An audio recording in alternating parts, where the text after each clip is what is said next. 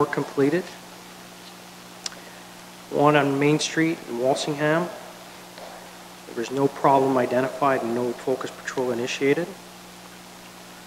On the 26th of September 2017, on Nelson Street in Port Dover, which I mentioned earlier, we did identify a problem, that focus patrol was initiated as a result. On the 4th of October in 2017, Pine Grove Road in Delhi, which I spoke to earlier, we did identify a problem and a focus patrol was initiated. And again, on Swimming Pool Road in Delhi, a problem was identified and a focus patrol was initiated.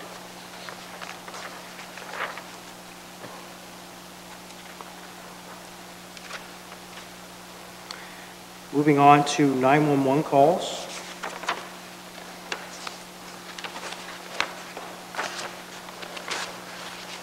For the month of September, we had 186 calls. We were down over last month, down compared to last year, and we are projecting down by year end. With respect to alarms, we had 32 in the month of September. We are down over last month and down compared to last year. Can uh, we go back to the 911 calls? Are you finding that the technology on the new phones is better at not getting pocket dial 911 calls? I'm unable to say for sure that that's the reason, or if it's education. Okay, thank you. With respect to foot patrol, we recorded 314.5 hours. We are down over last year. Bicycle patrol, we recorded 10.5 hours in the month of September. For school visits, we have 22 in the month of September.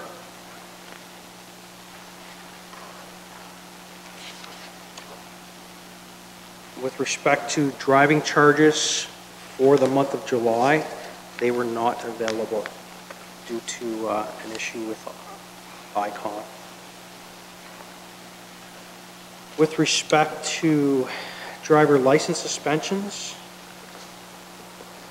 and ride statistics, for the month of September, we saw three roadside screening device administrations, five administrative driver license suspensions, two three-day suspensions.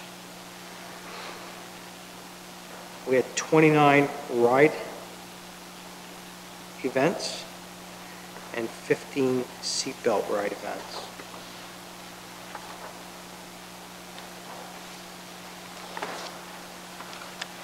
And subject to any questions, that is the end of our report. Questions for the inspector on his report?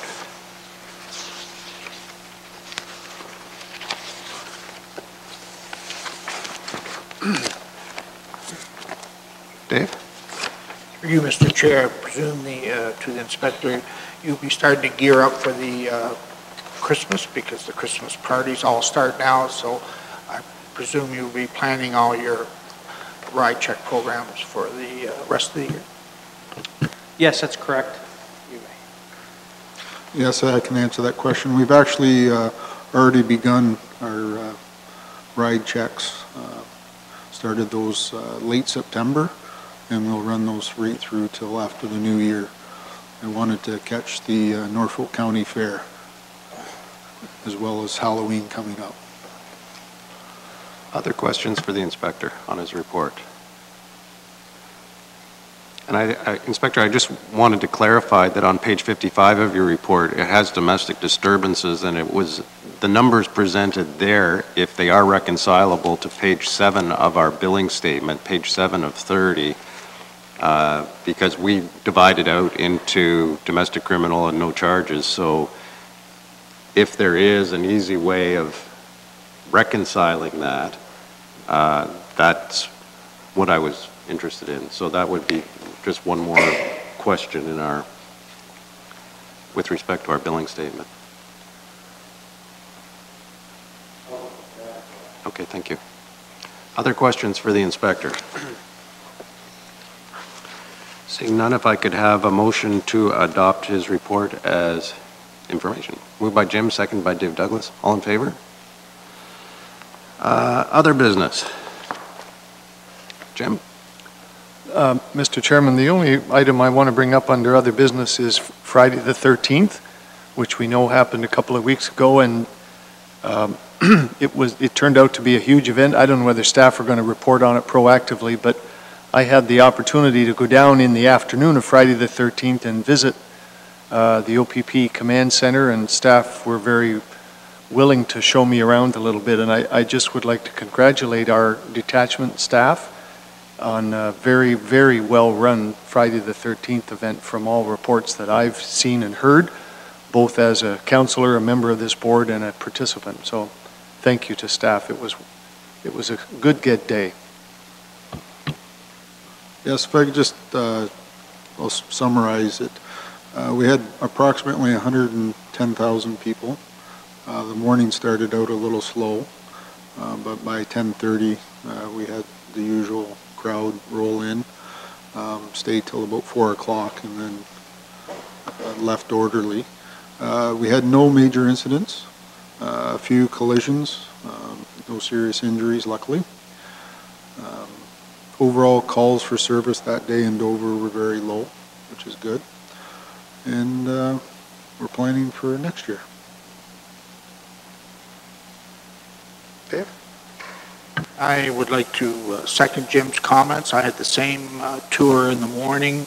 Uh, Really impressed with the efficiency that you guys run that operation when you take anywhere from 80 to 150,000 people in a town of 6,000. Um, If you, when you see how well you run that operation, you can't help feel but safe. So thank you very much for your, how you run that operation.